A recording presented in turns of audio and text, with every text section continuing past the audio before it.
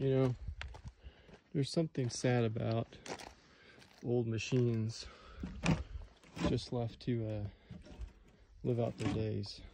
Just parked here, and then no one ever sat on them again. No one ever drove them again.